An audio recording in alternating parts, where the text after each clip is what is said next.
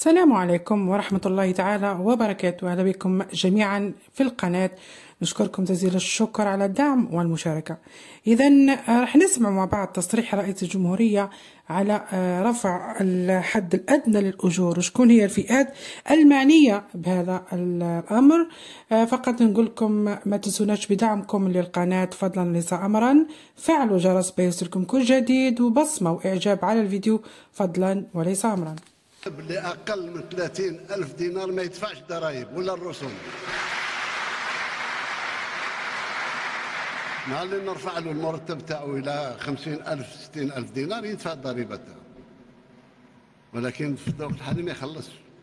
لحد الآن الأجور رفعناه نزيد نرفعه إن شاء الله.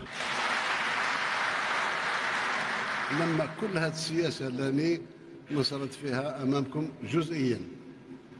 تعطي النتيجة نتاعها في الميدان في الضرائب في الحسابات الوطنية لا كونتابيليتي ناسيونال أنا نلتزم برفع آخر للأجور للمرتبات وإلى آخره.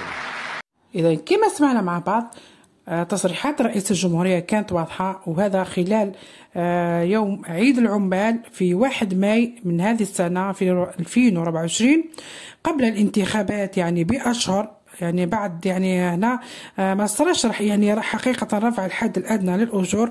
طبعا هذا وعد وعد به رئيس الجمهورية وعاد ما زال ما تحققش يعني لحد اليوم ها وإن شاء الله الدخلة أنت العام هذا راح تكون فيها مفاجآت إن شاء الله للجميع.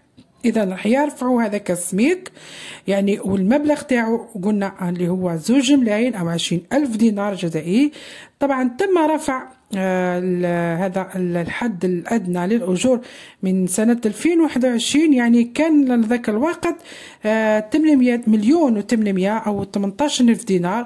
زادوا له طبعا آه 200 ألف. اللي هي 2000 دينار جزائري طبعا بقرار من رئيس الجمهورية عبد المجيد تبون عاد يعني زوج ملايين سنتيم. هذا القرار اللي كل ينتظر فيه الجميع وكانت هناك طبعا مطالب وكان الكثير اللي خلى تعليقات عبر فيديوهات سابقين إنه يطالبوا باش رفع الحد الأدنى للأجور كخطوة أولى. طبعا وهذه من وعود رئيس الجمهورية ينتظر فيها الكل. بإذن الله يرفع الحد الأدنى للأجور والمعني بها هم. هذه الفئات اللي حيتم ذكرهم. يعني جميع العمال والموظفين بكل القطاعات القطاع الوظيفي العمومي القطاع الاقتصادي القطاع الخاص القطاع العام جميع الهيئات جميع الوزارات وجميع المؤسسات. هم معنيون بهذه يعني بهذا رفع الحد الأدنى للأجور طبعا هنا الزيادة كيف راح تكون؟ الزيادة راح تكون معتبرة وعملت معكم فيديو سابق يعني منذ يوم بالتقريب يعني شحال راح تكون عندك الزيادة كل سنة؟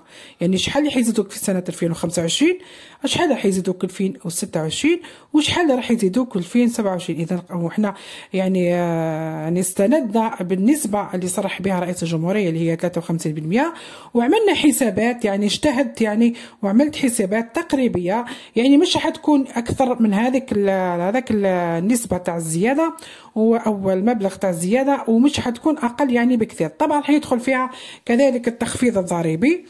آه ممكن تكون كما قلت لكم 300 ألف ممكن تكون 400 ألف إلى آخره. إذا الأجور البسيطة هي اللي راح تكون في قائمة ل آه طبعا تصنيفات الأجور هم آه يعني هم راح تكون الزيادات تاعهم معتبرة هذه الفئة.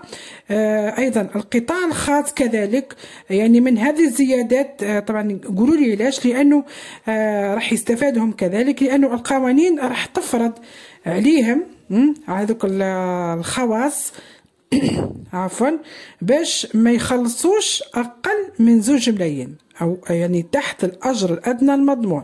يعني لما يصرحوا الأجر الأدنى المضمون شحال راح يكون؟ لازم هذاك الخاص ما يخلصش أقل منه. فهمنا؟ اللي هو السميك.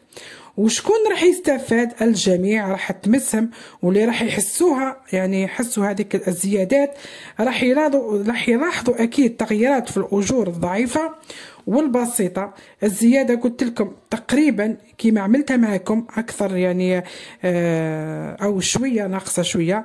لكن هذاك يعني هذاك الحد طبعا والكيفية كيف يعني عملت هذيك النتيجة وكيف تحصلت عليها. طبعا نقول لكم أرجعوا للقناة راهو فيها هذاك الفيديو يوضح هذا الأمر بالتفصيل.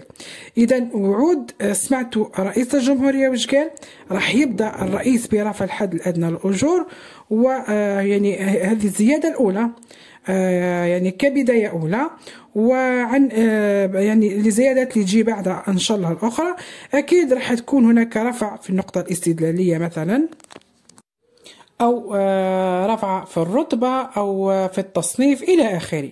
كانت هذا طبعا في عجالة آه، ما كان في جعبتي حول رفع الحد الأدنى للأجور والفئات المعنية بهذا الأمر. نتمنى إن شاء الله استفدتم من الفيديو. نشكركم على حسن الإصغاء والمتابعة. فقط نقول لكم ادعموا القناة باشتراك لكم فعلوا زر الجرس حتى يوصلكم كل جديد والإجابة على الفيديو. دمتم في رعاية الله وحفظه. مع السلامة.